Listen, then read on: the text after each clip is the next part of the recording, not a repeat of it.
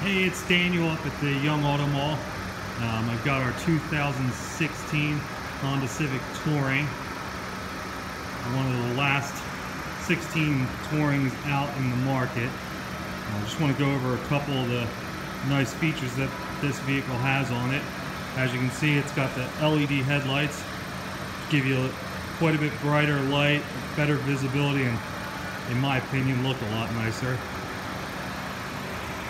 roll around to the side to give you a side view on this car. You can see the 17 inch alloy wheels with all season tires get you a really good grip in these wet conditions we've got.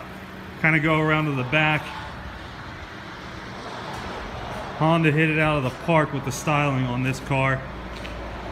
They put the LED tail lights as well, just quite a bit better visibility from the back.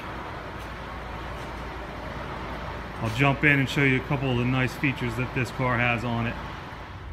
The Civic Touring is going to have your Garmin GPS navigation system. It's got voice activated controls, super easy to use. Um, you've also got automatic rain sensing windshield wipers. So the moment that starts raining, those wipers are going to go on automatically.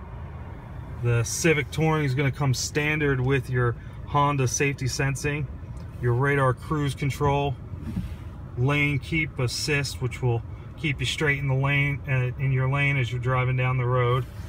We'll also have your pre-collision braking system, a lane departure warning, and it'll even keep you the same distance all the way to a complete stop when your cruise is on as you're just driving down the road.